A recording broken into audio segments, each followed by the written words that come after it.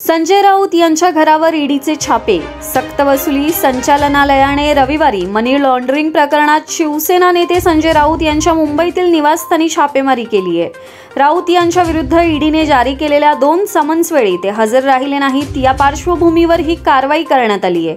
दरम्यान नऊ तास चौकशी केल्यानंतर राऊत यांना ताब्यात घेण्यात आलं असून अधिक चौकशीसाठी त्यांना ईडी कार्यालयात नेण्यात आलंय.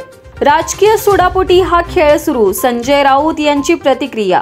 जी कारवाई व्हायची ती होऊ द्या मी घाबरत नाही. राजकीय सुडापोटी हा खेळ सुरू असला तरी पक्ष माझ्या पाठीशी आहे.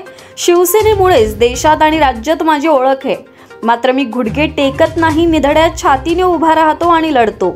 या कारवाईलाही न घाबरता सामोरं जाईल आणि यातून महाराष्ट्रालाच बळ मिळेल. ईडी कारवाईनंतर संजय राऊत यांची प्रतिक्रिया. संजय राऊतांवरील कारवाई निर्लज्जपणाची. संजय राऊत यांच्यावरील कारवाईवरून शिवसेना पक्षप्रमुख उद्धव ठाकरे यांनी अत्यंत संतप्त प्रतिक्रिया दिली आहे. कालच त्यांनी राज्यपालांवरही जोरदार टीका केली. त्यानंतर आज राऊतांवर झालेल्या कारवाईमुळे ठाकरे यांचा संयम सुटलाय.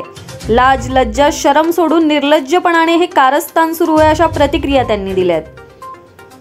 शिवसेनेच्या ठाणे जिल्हा प्रमुखपदी केदार दिघे शिवसेनेचे पक्षप्रमुख उद्धव ठाकरे यांनी मुख्यमंत्री एकनाथ शिंदे यांना शह देण्यासाठी मोठं पाऊल उचललंय. उद्धव ठाकरे यांनी ठाण्यातील नवे पदाधिकारी जाहीर केले आहेत त्यानुसार मुख्यमंत्री एकनाथ शिंदे यांच्यावर टीकेची झोड उठवणारे धर्मवीर आनंद दिघे यांचे पुतणे केदार दिघे यांची ठाण्याचे जिल्हा प्रमुखपदी नियुक्ती करण्यात आली आहे. सरकार पाडण्यासाठी मंत्रिपदासह दहा कोटींची ऑफर भारतीय जनता पक्षाने झारखंडमधील सरकार पाडण्यासाठी प्रत्येक आमदाराला दहा कोटी रुपये आणि मंत्रिपदाची ऑफर देऊ केली आहे तशीच ऑफर मलाही आली असा दावा काँग्रेसचे आमदार कुमार जयमंगल यांनी केला असून त्यांनी या प्रकरणात पोलिसात फिर्याद दिली आहे त्यामुळे पश्चिम बंगालमध्ये जे तीन काँग्रेस आमदार मोठ्या रोकडसह पकडले गेलेत त्या प्रकरणाला आता वेगळं वळण मिळालंय. भारतीय खेळणी उद्योगाचे पंतप्रधानांकडून कौतुक पंतप्रधान नरेंद्र मोदी यांनी रविवारी भारतीय खेळणी उद्योगाचं कौतुक केलंय. या उद्योगाने निर्यातीत मोठी भरारी घेतली आहे. या उद्योगाची निर्यात तीनशे ते चारशे कोटी रुपयांवरून दोन हजार सहाशे कोटी रुपयांवर गेली आहे. जेव्हा भारतीय खेळण्यांचा विचार केला जातो तेव्हा वोकल फॉर लोकलचाच प्रतिध्वनी सर्वत्र ऐकू येतो असं त्यांनी त्यांच्या मन की बात या कार्यक्रमात सांगितलंय. महाराष्ट्रात रविवारी एक हजार आठशे एकोणपन्नास कोरोना रुग्णांची नोंद. आरोग्य विभागाने दिलेल्या माहितीनुसार महाराष्ट्रात रविवारी एक हजार आठशे एकोणपन्नास नवीन कोरोना रुग्णांची नोंद झाली आहे. एक हजार आठशे त्रेपन्न रुग्ण बरे होऊन घरी परतले तर तीन बाधितांचा मृत्यू झालाय.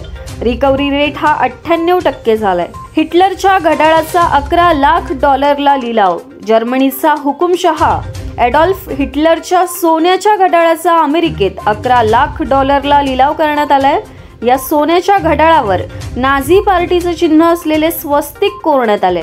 त्याशिवाय हिटलरच्या नावाची ए एच ही अक्षरही त्यावर आहेत.